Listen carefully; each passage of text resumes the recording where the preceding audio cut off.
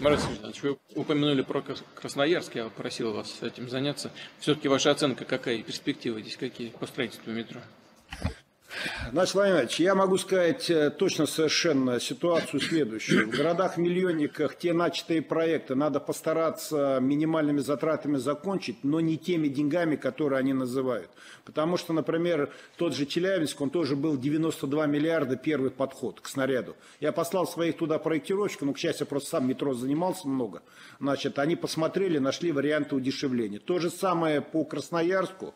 Я туда уже договорился отправить своих проектировщиков, считая, что 100 миллиардов заявленная сумма достаточно большая, мы найдем решение более дешевое, более оптимальное, но то, что начатое надо закончить, потому что это и приводит к рискам технологическим, потому что мы же под землей каналы прорыли, их нельзя так бросать.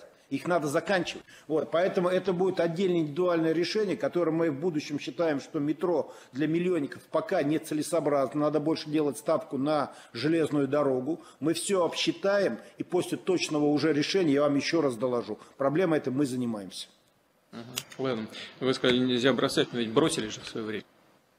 Значит, Знаешь, там момент был такой, что, знаете, в свое время на федеральном уровне вроде как, а потом отдали на регионы, а регионы по деньгам не потянули. Это на самом деле, ну, да. время такое было. Я хорошо это Лад... помню. Поэтому да, сейчас да, надо просто исправить и все. Хорошо. Ладно, ну, потом э, в ходе работы мне обязательно доложите, как там э, реально дела складываются. Хорошо?